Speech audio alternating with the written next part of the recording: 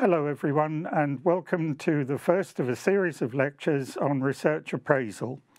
We're going to be looking at how to improve your research, how to present it well, how research is judged, particularly when research proposals are submitted for funding calls, and we're going to be looking at the mechanics and the processes of evaluating research uh, when it is first conceived and also when it is completed and uh, delivered to a public or uh, to those who commissioned it.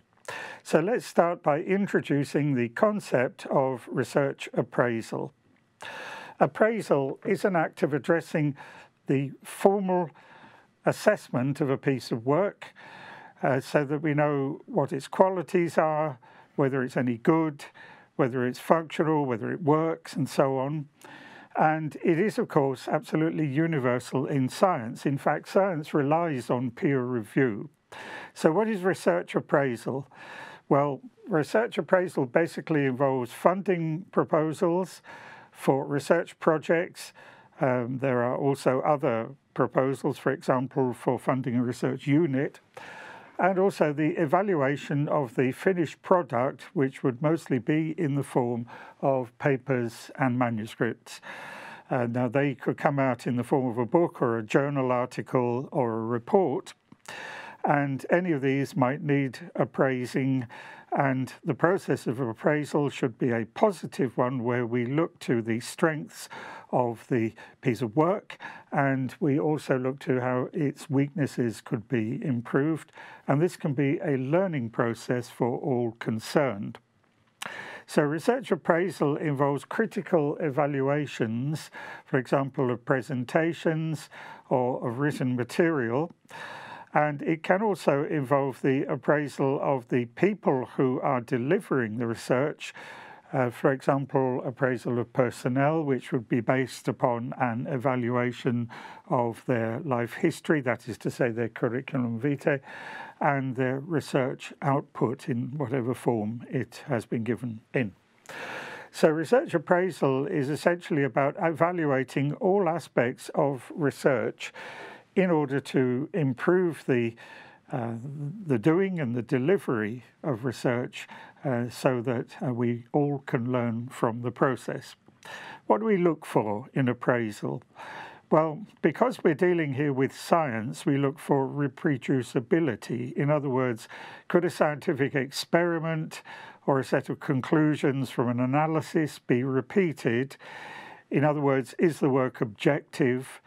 Will it work in terms of logic and is it reasonable, consistent, and also does it have novelty?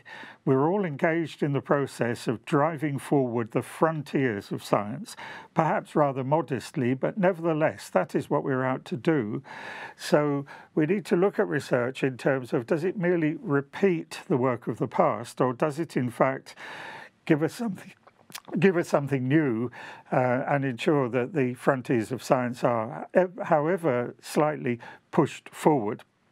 Now, to do that adequately, you also need rigour. In other words, that all relevant aspects of the problem have been considered and dealt with, and that the work itself is, if you like, watertight. In other words, it's something that will stand the test of time and also the test of evaluation.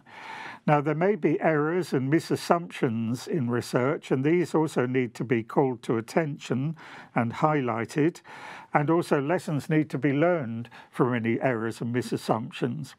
Finally, we need to think about relevance, especially in these days where research is often very critically evaluated in terms of what benefit it is to society especially where research costs money, and indeed it all does, then it is necessary to consider how relevant is the research to the needs of society.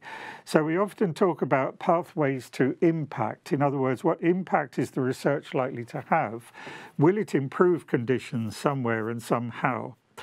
But in order to evaluate relevance, we also need to consider relevance to what. So we need to define the context in which we are evaluating the relevance in order to decide whether something actually is relevant. Now, there are problems in this process. For example, one of them is that really not a great deal is original. It is often said that more scientists are living today than have ever existed in the past. In fact, science has gone through enormous growth in the last 100 to 50 years and therefore very much is being done. So one upshot of that is not much is actually very original. And moreover, people are under pressure to produce work, um, and the work that they produce may or may not be um, um, unusual, particular, novel, original. Um, and, and that is particularly a problem where the pressures on people induce them to cut corners. Now, there are in science a few bad eggs, in other words, people who would defraud, plagiarize, uh, pillage other people's work, pass off someone else's work as their own, and this sort of thing. Fortunately, there are very few of them. But one of the tasks of research appraisal is to try to ensure that uh, such work is identified and uh, called out uh, so that we can try to guarantee that research is done in good faith and that it is of good quality. There is in modern science a relentless pressure to produce, always to do more research, always to publish more. And this has resulted, if one reads the academic journals, for example, in huge increases in apparent productivity. But is it quality or is it quantity? Of course, we would like it to be both. In other words, that there is an increase in the number of papers published, the amount of research done, but that the quality of it is very high. So one of the uh, one of the tasks of research appraisal is to try to ensure that we identify good quality and we induce the producers of research to improve their quality and always to aim for high quality. The next question then is how do we appraise? Uh, well, there are a number of appropriate questions here. The first of which is if you're dealing with a work, is it good science? Well, to answer that question, we need to define what we mean by good science. Uh, perhaps we mean something that is uh, well written and where there is a sense of rigor in the methodology and where questions are answered and where if one has doubts about the research, they are easily countered by good arguments. So one way of finding that out is to look at the work and ask firstly and foremost, is it logical and consistent? Do the arguments follow each other? Now, one would have to develop criteria for that. So in the process of appraisal, uh, there is much emphasis on one's experience. An experienced appraiser can judge almost intuitively whether a work is logical, consistent, and therefore good quality. A final question is Is the work good value for money? If this is the response to a call for funding and a project has been funded, then those who fund it, or perhaps merely the taxpayer, those who contribute to the process of research funding, will want to be reassured that what is going on is good quality and that therefore there is value for money. So that might be one of the criteria applied when research is appraised when we get down to the nitty gritty of it, is there anything new in the work? Compared to what has been published and produced in the past, is there anything different about this project? And does it indeed drive forward those frontiers of science? On reading the work, on looking at what has been produced, are there evident mistakes in it? Are there misassumptions in the research?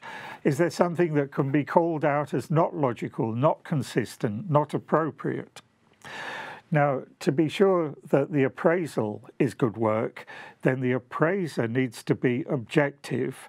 To an extent, none of us are totally objective because we all have our life experiences behind us and we all have our likes and dislikes. But when we appraise, we need to make a special effort to firstly think that the person who produced the work was probably acting in very good faith and doing the best that he or she could do. Therefore, it isn't entirely fair to be harsh on someone who has done his or her best. And it is very important to try to be objective about the strengths and the weaknesses of the work in question. And this is all the more true when one thinks about the impact of one's judgment. For example, good researchers can be discouraged by harsh criticism, especially if it is unduly harsh. They may or they may not recognize, they may or they may not agree with what is being said in these cases, but really, if they're doing the work in good faith and if they're striving to the best of their abilities, it perhaps isn't a good idea to discourage them by overly harsh criticism, hence the importance of objectivity. At the same time, it is also important that if there is something wrong with the work, then this be drawn attention to there is a pressure on the producer of the research and on the person who appraises it. And the first pressure is lack of time, in that we're all induced to do more and more in less and less time. And therefore, there is a temptation to skimp either on the work or on the appraisal. And also, there is a sense of competitivity in as much as we're all competing for funds or for good grades or for successful appraisals and so on. And uh, all of this takes its toll on people. We're, after all, only human and we can only manage so much. One thing that one has to be aware of when doing appraisals is whether one is dealing with work that is strictly within one's own competency, in other words, one's own training and experience, or whether in fact the research is outside that. Now, if one is appraising something that's not within one's competency, then it's a very good idea simply to think about it and to um, make it clear that the viewpoint that you're expressing is that of an outsider. And that can be useful because much research in the modern age has to appeal not merely to those who are strictly within the field, one's peers and the experts and so on, but also to those who are outside the field. So there's often a strong element of communication in research. Is it communicating with people who perhaps are not absolute experts in the field and perhaps don't have that uh, tremendous familiarity with the concepts and the terminology and so on. So, in this sense, uh, an outsider's view can be useful, although one has to be careful because there is a risk that through lack of familiarity with the field, one could make mistakes in appraising it. And lastly, we try to avoid bias in appraisals. Bias is created by a sense of um, uh, likes and dislikes, and uh, whether one is um, ideologically opposed to things or not. And we have to be fairly self aware when we appraise research and try to ensure that what we do is not biased and that we free ourselves from the sense of bias that comes from particular preconceptions about the way things should be done. Now, when one is an editor and one sends out scientific work for appraisal by referees, which we do because the referee system is the gold standard of scientific publication, then we try to get three reviews of a piece of work. Very often we content ourselves with two reviews if they are detailed and honest enough, and if there is at least some semblance of a consensus on the value and the publishability of the work in question. Let's assume, though, that we managed to get three reviews. Now, most reviewers are convinced that their opinion of the work is the right opinion, perhaps the only opinion on the work, but it is remarkable how often the editor will find in front of himself or herself three reviews that are really quite different in style and in conclusion. For example, the first review may say, This is a great piece of work, excellent, you can publish it just as it is, it doesn't need modifying. The second reviewer instead might take a much darker view and say, oh, it's fundamentally flawed. The methodology is plain wrong. There are errors all over the place. You should reject this paper. Well, if you have two reviews like that, then you clearly need a third one in order to settle the differences. And the third reviewer might say, well, it's basically a good piece of work, but it needs substantial improvement because it's got this flaw and that problem and this inconsistency and so on. And uh, what do we do then? Well, the usual editorial response to that would be to write to the author with copies of the reviews, usually anonymously provided, and say, well, look, you've got to address the criticisms as far as you can. And the author will probably write back and say, okay, I will send you a revised version as soon as possible in which I answer the criticisms as best I can. Now, it's often impossible to answer criticisms which are absolutely damning. This is a flawed piece of work. There's nothing that can be done with it, except perhaps to make a case that perhaps the reviewer is wrong. I have been a journal editor for some 34 years, and I've always taken the view that an author has as much right to an opinion as a reviewer does, even if the reviewer is very much the expert. So, in that sense, it's the editor's job to reconcile diverse views of a piece of work. It is perhaps part of the human condition that we do have these diverse views, and it's also not unusual because you can often view a piece of scientific work from a variety of different angles that will give you a different take on it and give you different opinions about it. So it's perfectly possible for a piece of work, once evaluated, to demonstrate that it is good in certain ways but not so good in other ways. And most pieces of work indeed can be improved uh, thanks to the advice, we hope it is kindly advice, by those who have appraised it. Now, reviewing presentations is something that you might have to do, and uh, indeed it is an important and useful skill. In so doing, well, we'll look at this in another presentation in a little more detail, but to summarize broadly what needs to be done and said. Firstly, you have a speaker in front of you. Is the person articulate? Does the person know how to put over the concepts that he or she has in mind to tell you about? Is the talk comprehensible? Which means, firstly, is it logical? Does it have a narrative progression? Does it start at the beginning, pass through the middle, and end at the end? Um, now, that seems very obvious, but I have been to many talks in my life where they do not do that and, in fact, are pretty much of a muddle.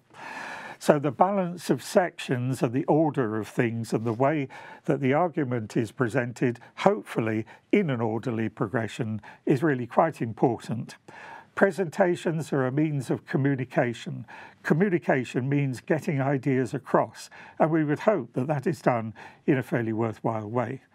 Behind all of this, of course, there's also the fact that we need to have research that is good. In other words, it's worth putting over. And the talker, the speaker, therefore, has a sense of conviction, a sense that what he or she is saying is worthwhile. And there's nothing uh, like enthusiasm for spicing up a presentation so that those who listen to it uh, are carried along with it and, and, feel that there really is something in this work and, and uh, the enthusiasm is, as it were, contagious, it's infectious. And also, is the research appropriate to present? There is a growing fashion to present um, papers on what we will do or what we would do when we get the money or if we had the money. I don't think that that is a good idea. I would like to see what they have done when they finish the project, project, not what they intend to do before they start. But such is the pressure on people to speak at conferences and give presentations that unfortunately we also have this phenomenon. So, perhaps there are visual aids. In fact, in science, most speakers employ visual aids, just as I am doing right now, uh, partly because they help the audience to remember things, and the audience perhaps can obtain a copy of the visual aids and go back and look at them. And partly because sometimes it's necessary to explain things with the aid of audiographics, for example, by speaking to a diagram or a picture uh, that will uh, explain what is going on, especially where the concepts are perhaps rather complicated. So, are the visual aids well presented? Is the timing good? Are they easy to see? Is the writing large? Are there things on the slides that you can't make out from a distance? That is not a good thing when it happens, but it's all too common. And finally, is there a good take home message? So that when you come out of the auditorium, having listened to the speaker, you remember something of what he or she said, and you can refer back to perhaps published material. You can even make your own appraisals of it. And the talk, the presentation has, as far as you, member of the audience, are concerned, been worthwhile. So that's all for now, and we conclude on the first of these talks, and we'll now move on to the uh, meat of the matter, a series of talks on the different aspects of appraising research. Thank you.